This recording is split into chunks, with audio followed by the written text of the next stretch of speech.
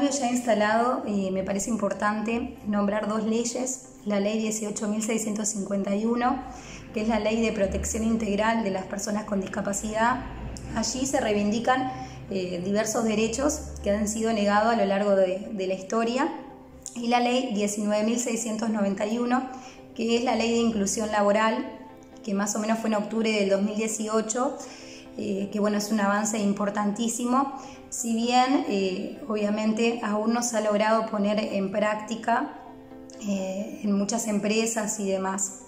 Así que bueno, creo que estos son avances firmes que sin duda se ha logrado por, por el movimiento y la lucha de diversos colectivos.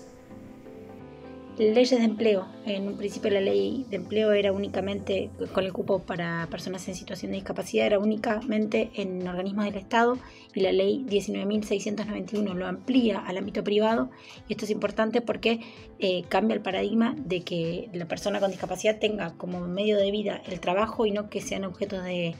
asistencia, eh, sobre todo en población eh, joven, económicamente activa, que, que, que si no quedan por fuera completamente Em, de, ese circuito. Eh, sí, a mí me parece que ya el hecho de hablar del tema es este, un cambio. Si pensamos unos cuantos años atrás, esto no pasaba. Y creo que sí, que hace unos años se han dado algunos eh, cambios, algunos progresos, como la figura del asistente personal, que bueno, que hoy sabemos que, que no se está llevando adelante como se venía llevando, eh, la preocupación desde la educación con respecto a la inclusión. Eh, después lo que tiene que ver con lo físico, que, bueno, que en un principio cuando se hablaba de inclusión o accesibilidad, se tendía más a lo que tenía que ver con lo arquitectónico y eso, este, pero bueno, fueron como cambios que se han ido dando que obviamente todavía falta muchísimo. En realidad no sé si identifico algún cambio que ya esté instalado en su totalidad, que sea positivo en cuanto a a, ir hacia una sociedad más inclusiva, pero sí creo como muy positivo la normativa que tenemos actualmente en nuestro país, que es relativamente nueva y, que se está empezando a implementar pensando la discapacidad desde otro enfoque, de un enfoque biopsicosocial que, que habilita, que, que está pensado desde un enfoque de derechos. Eh, y, que, y que piensa en la situación de discapacidad de una persona que va mucho más allá de una deficiencia. Eso me parece que es muy importante y que ha puesto en sobre la mesa eh, temas que, antes no se habían tocado, que, pone sobre la mesa constantemente eh, situaciones para pensar y para repensar, como, como es, bueno, cómo se evalúa la situación de discapacidad de una persona a la hora de dar una pensión. Eh, y bueno, eso yo lo veo como algo muy positivo. Todavía falta y, hay muchísimas cosas de la normativa actual que tenemos que, que, no se ha llevado a cabo, pero bueno, creo que, vamos en camino, que al menos ahí hay un movimiento, que hay un cambio de paradigma, que hay un cambio en cuanto a, en cuanto a cómo pensamos la discapacidad, que es muy positivo y que puede eh, seguir generando movimientos eh, en este tiempo que, van a ser favorables. Creo que pensando en, cambios positivos ya instalados, en, lo que refiere a la construcción de sociedades más inclusivas, eh, podemos identificar por lo menos en la ciudad de Montevideo, que es donde yo habito y donde me toca transitar espacios públicos, eh, justamente que en esos espacios eh, se ha avanzado en lo que tiene que ver con la accesibilidad física, con la accesibilidad cognitiva también, con la señalética.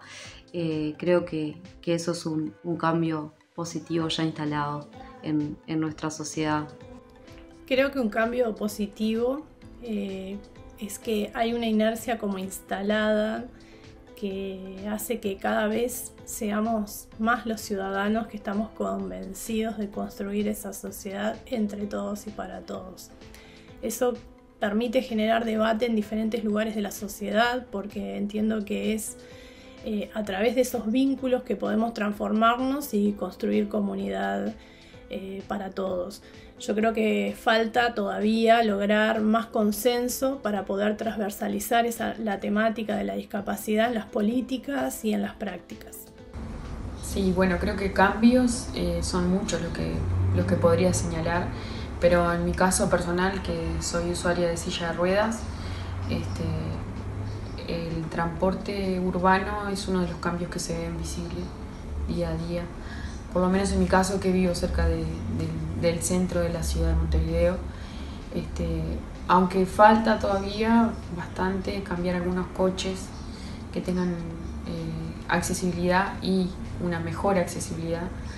eh, es bastante sencillo poder desplazarse a través del departamento con tiempo, ¿verdad? Como lo requiere el transporte público este, en una silla de ruedas. Y bueno, creo que ahora,